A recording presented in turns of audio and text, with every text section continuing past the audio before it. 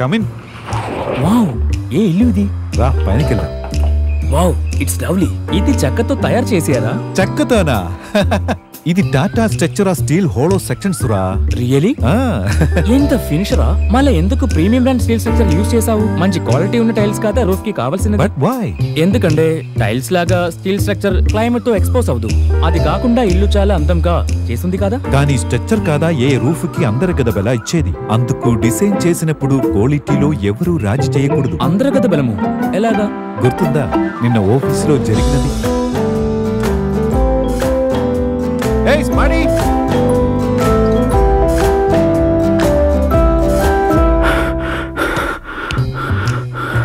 అతను చాలా చిన్నోడు. ఆయన ఆ రోజు చాలా కష్టపడ్డాడు. వావ్ రెడ్డి గారు. అది ఈ వయసులో.